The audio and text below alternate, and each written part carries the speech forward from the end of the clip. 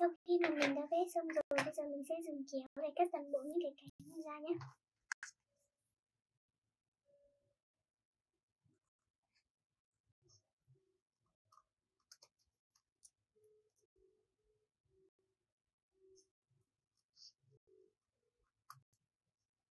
Đó, cái tiếp theo này.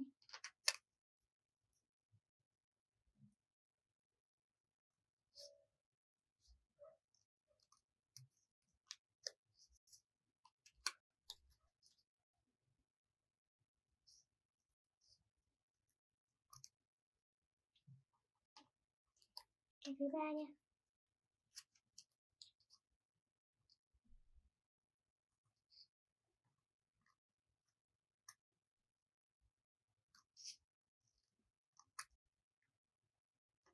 Cái thứ tư này. Mình sẽ cắt toàn bộ những cái cánh mà mình vừa vẽ ra nha.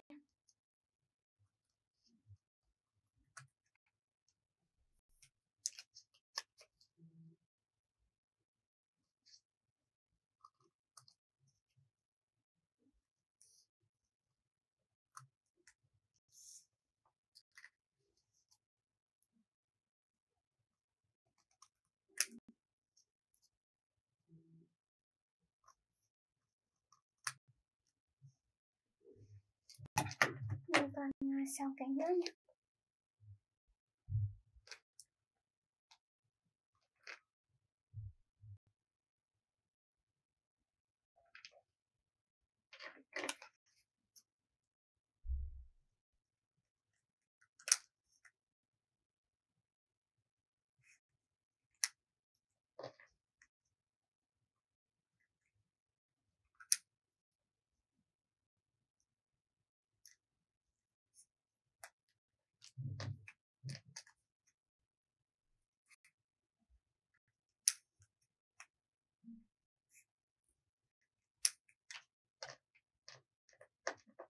ba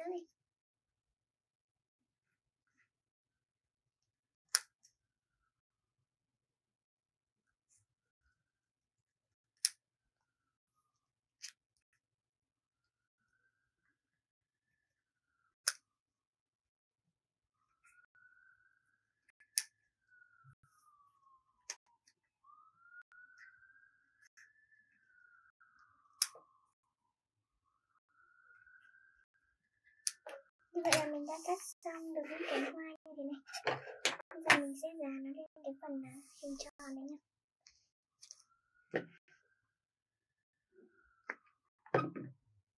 Mình sẽ dán 6 cái trước. Đó. Tiếp nha.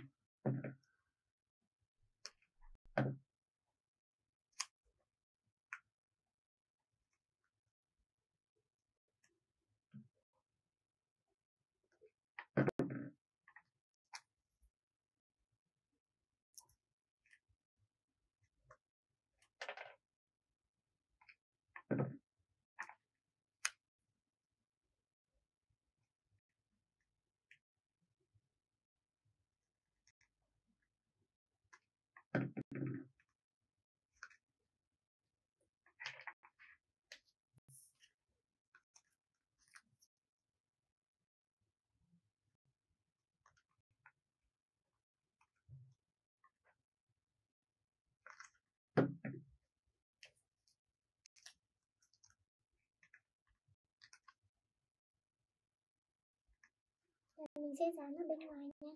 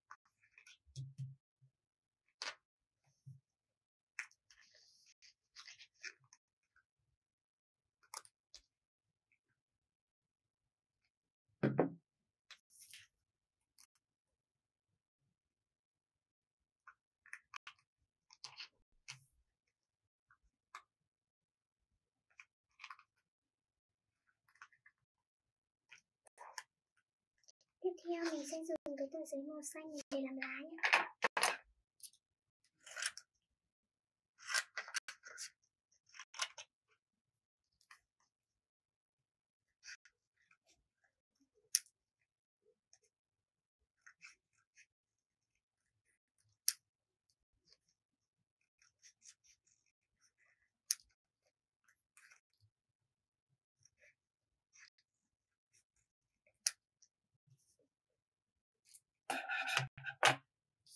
mình sẽ dán lên bông hoa này.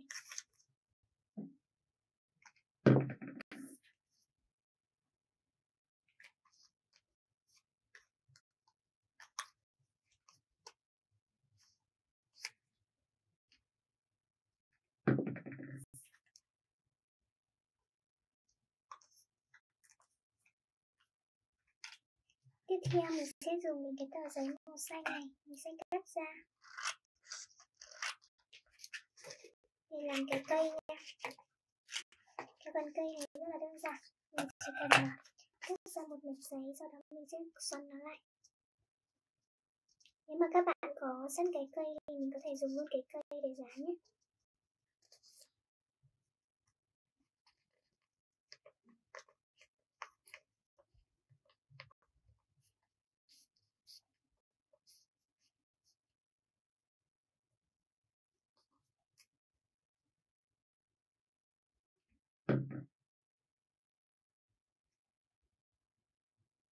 Mình sẽ dán lên bông hoa nha